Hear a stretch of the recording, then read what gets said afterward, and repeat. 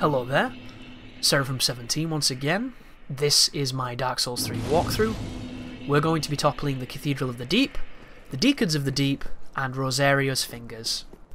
And we're going to be toppling all of these things in about 13 minutes apparently, which is seems quite short, doesn't it? But I guess we'll see what I do. I'm also going to kill the Berserk creature. So, if you can get him to spawn, you can hit him in the face a few times when he taunts, stun him, visceral, dead. Just be careful here. If you do not kill him with the counter attack, he will do a crazy this. And if you go near it, it will knock you down. It's FromSoft's way of punishing players who try to punish weakness. We are so programmed in these video games to chase down an enemy that's been knocked down to get the positional advantage and do some extra damage. So that creature has a move to counter that mentality. It's very clever, it's quite hilarious, but it's also rather deadly. So now you know it exists, never get hit by it, always punish it accordingly. But we're going to the cathedral, so I'm going to look into the enemy section again, guys, and I'm going to give you a heads up on some of the stuff you're going to find here. Uh, if I can find it. But this is an interesting zone. I really like the Cathedral of the Deep. I just didn't realise it was going to be called that. Because when people kept speaking about a cathedral, this just wasn't what I had in mind.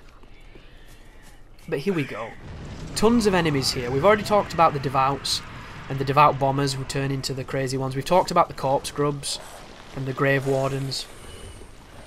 Let's talk about some of the people we haven't, like the Knight of the Deep, guy with the great mace, and the guy with the great two-handed sword. This guy is a beast. Apparently he's weak to poison and toxic, and bleed, but you wouldn't know because nobody uses that against that creature. He has 556 HP.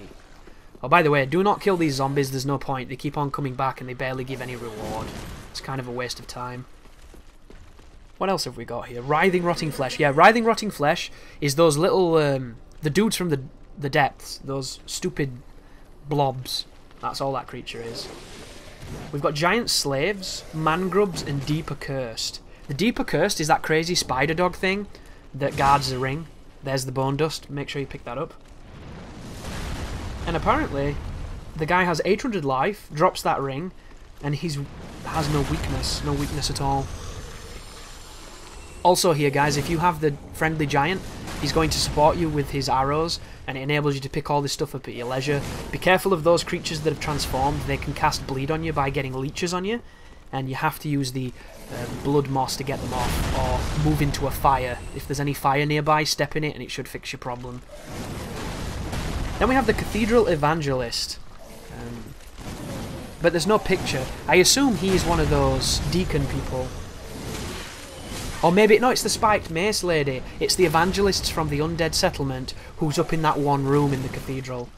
So she's got 830 life. She's weak to thrust. She's pretty much the same as she was before.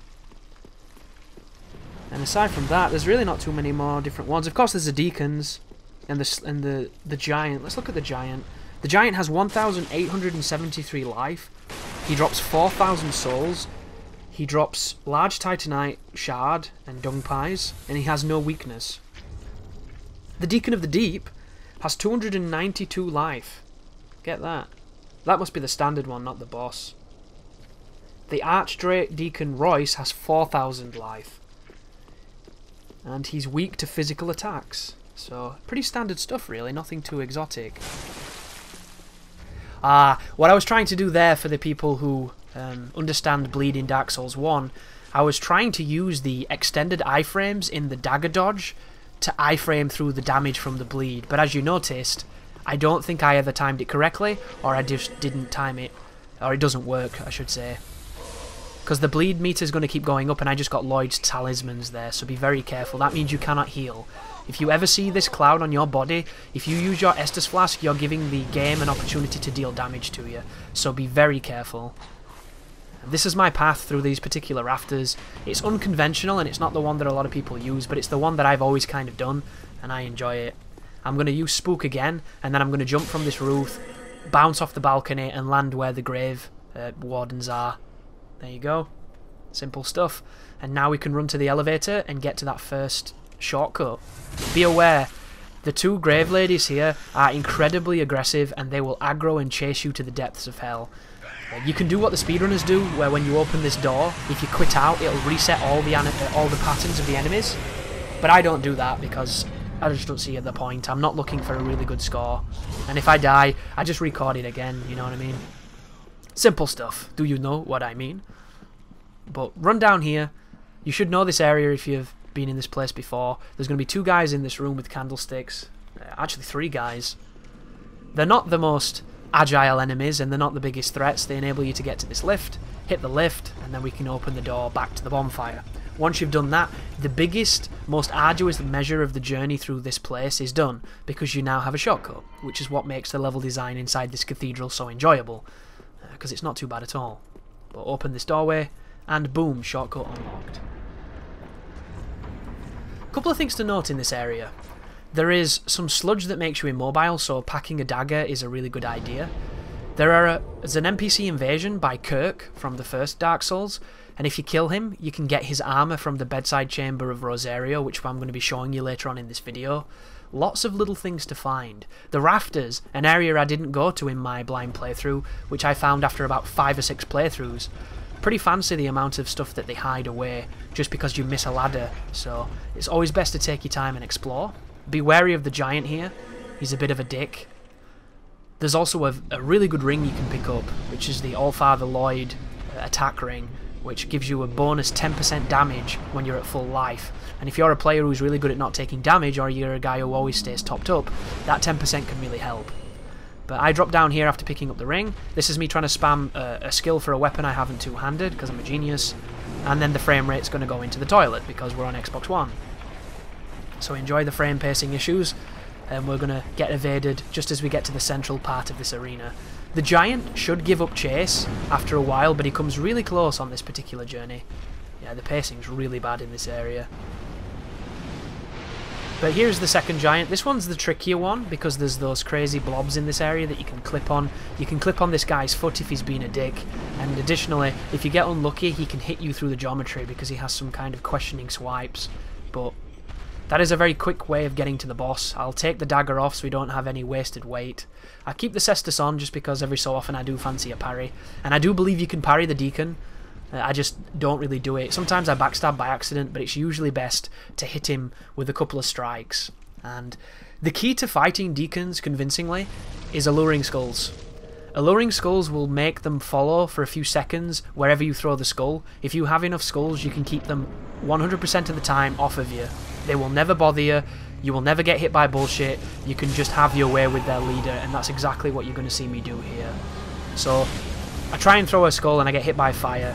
Throw the skull, get it out there, and everybody's going to go that way, so now we can come in here and chop dudes up. The skulls last give or take about 5 to 10 seconds if you're lucky. I don't know the exact time on them, I've never timed it, but it's around 5 plus seconds. So just throw them liberally, keep them in control, and thin their herd. If you've got a fast weapon and a, a powerful weapon like the one we're using, you can cut these guys down in no time at all. Just be aware that they love to hit you with those fireballs just as you're about to chuck your skulls, and a lot of the times it can cancel animation, so be careful. Here comes the, the, the MVP himself, Pope Big Daddy G. This is the guy you want to be wrecking. Do all your damage to him, bleed him, chuck the skulls, just, and he whacks me with a staff. The Pope just put his staff on my face. Sexual harassment. There's the, the butt stab. That's what you get, Pope. And then the fight's pretty much over, but I chuck another one down just to show how powerful they are. And see you later, pal. Very simple fight, but it can escalate very quickly, especially on New Game Plus cycles. Swap your rings, get as many souls as you can. And now we're going to be going from this bonfire to Rosaria's Fingers. Which, funny story, which is not actually that funny, but I'm using it as a side tangent. I got to Rosaria's Fingers on my blind playthrough by complete accident because of patches. When it came to finding it by choice, I could not figure out how to get to it. And it turned out I had to go up to those roof rafters that I'd never found. So I ended up watching a guy on YouTube show me how to get to him because I couldn't get to him. And then he climbed a ladder I'd never seen before. And it was just that moment of, Jesus, there's something in this game that I missed. And I thought I did almost everything. So, moral of the story, guys, you might think you know everything, frame pacing shits the bed there, but sometimes you don't. So it's always good to, you know, be humbled by information to increase your amount of knowledge and get smacked by a giant greatsword. Thanks a bunch, buddy. He's going to chase as well. He's very eager. But he's going to drop down and test his knees. Is he not? No? Oh, he didn't. Anywho. back over here, and we're going to be going down one of these annals that leads towards Rosaria. But first we have to unlock the shortcut. This is a shortcut a lot of people will unlock for the purposes of fighting the deacons if you're not too confident with that fight, or you don't have the damage to put them down quickly. But this is also where you get to the rooftops. So there's a doorway to my right just here. I think I'm going to open the shortcut just in case I die, because I'm usually a thorough player like that. Yeah, I did. Always good to do that, folks. Even the best player in the world on these games can fall off, can get knocked off, can have a bad pattern, can get bummed. It's just what Souls games breed. You know, there are always those moments where something really strange happens and you've never seen it happen that way before. Especially if you're live streaming. If you're live streaming, Souls games do everything they can to fuck you up. But the secret ladders to the left here, never even noticed you could come around here, and then up here leads to the rooftops. Up here is a lot of strong enemies. There are those huge skeleton dudes with the halberds and the great axes, and now they're wearing fancy robes, so they've upgraded their fashion and potentially their statistics as well, so be careful of those guys. Additionally, there are those hollow slaves, who I call thieves, and then there is these dudes up here, the cathedral knights with crossbows and shit, and this place is not very good when it comes to frame pacing either. So be very careful. Be careful of this guy. Normally he'll kill himself, but sometimes he doesn't. And then down here is the drop to. Look at that. Look at that! Oh my god, you can't tell the difference, guys. 60 frames per second. Ugh. So bad. There's one of those weird grub guys who fires magic spells. And here's the lever that leads us to, uh, to where we need to be. Which is awesome. Opening up shortcuts, getting shit done. But this is a very strange area, this. I'm curious as to, to what all the lore is on this particular sequence. Because apparently all these people have been turned into slugs, and he has a red soap sign for some reason, so he used to be an invader, but now he's a slug. And then there's the, the Heysel guy, the yellow finger dude, who's essentially just the uh, Xanthous Crown guy, who turns into a grub as well. Like, lots of grubs and shit. Are they Slurm Queens or something? Did they all drink too much Slurm? Very strange. But here is some kind of weird nursery full of cots. Really, just very macabre. And there is Rosaria, so you can go up to her, you can join the fingers if you want to, or you can just get out of here. But uh, if you pledge allegiance to this covenant, you will piss off Sirris. She will not want anything to do with you, and you'll have to do it in New Game Plus. So do not take this covenant lightly. You are now the sworn enemy of the, the Dark Moons, and it, it means, it matters something, you know? It means something, I should say. But we're going to go back to the Nexus, and get some shit done. And then in the next video, we're probably going to be taking on Irithyll. So thank you very much for watching, guys, and as always, you take care now.